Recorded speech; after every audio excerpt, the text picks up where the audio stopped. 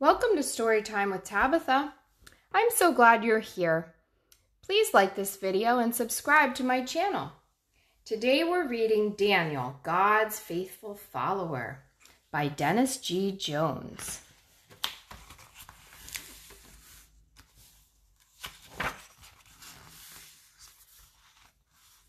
Long ago, there was a good man named Daniel. He helped the king rule the land. The king loved Daniel very much. Some of the king's other helpers were jealous of Daniel, so they had a plan to get him in trouble.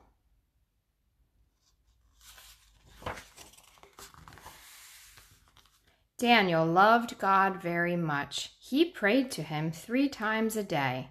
The king's other helpers did not like that and made up a new law. People can only pray to the king or else.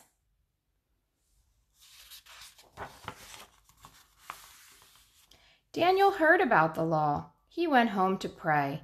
He wanted to talk to God about the new law. The men were watching to see what Daniel would do. Would Daniel break the new law?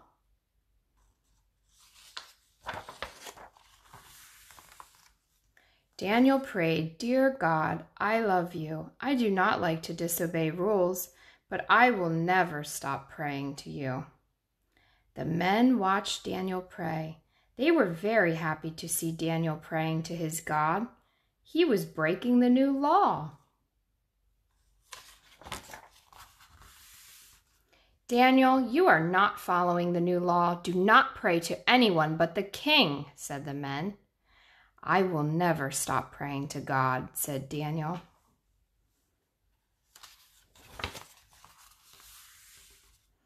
So the men took Daniel to see the king. They said, King, remember your new law? We saw Daniel pray to his God. He broke the law.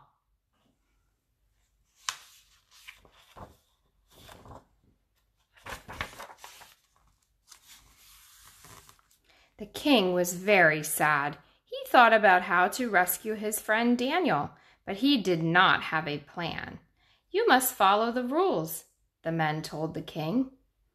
And so the king took Daniel to the lion's den.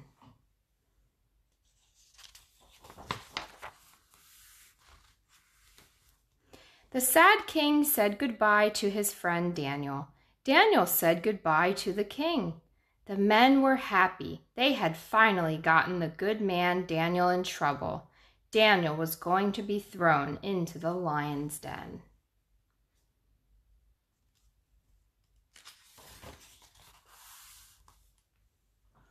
Daniel was thrown into the lion's den. The men smiled as they watched him fall down, down, down into the den. Daniel thought to himself, I am in trouble.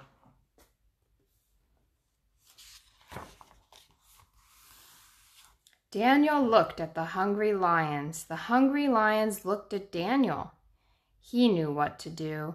Daniel knew he needed to pray to God for help, just like he did every day.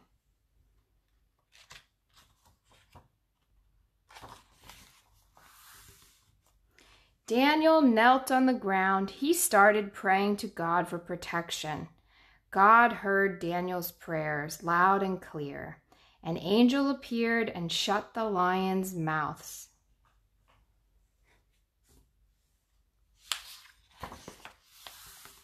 All night long, Daniel prayed to God. All night long, God's angel kept the lions away from Daniel. Daniel talked to God and thanked him for the angel's help.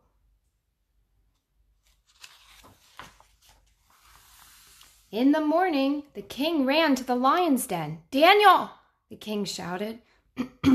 How are you, my friend? Daniel smiled at the king. I am safe. God sent an angel. He kept the lions away all night long. The king smiled too. Get Daniel out of that lion's den, the king said. The king was happy that God had kept Daniel safe. He told all of his people about Daniel's God.